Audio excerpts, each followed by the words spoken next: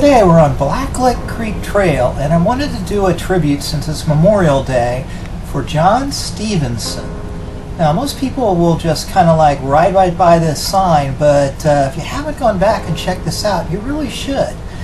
Now this, um, this track is about 0.4 miles. I tracked it so it's not quite as far as it shows but you're going to have to deal with some mud and a hill or two that are coming up so be prepared for those.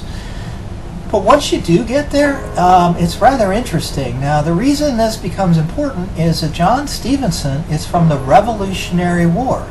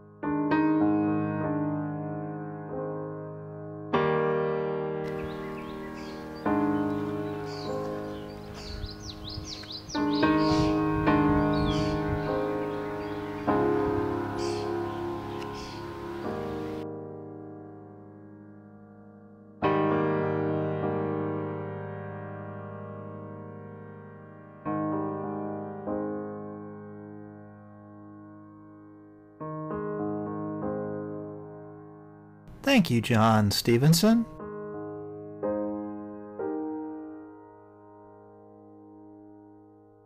Thanks for watching. Now get out and explore.